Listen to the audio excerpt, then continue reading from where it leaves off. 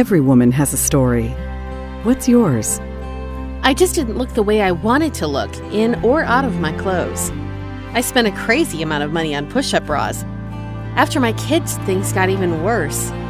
Thanks to Dr. Romanelli, I finally have the figure I always dreamed of.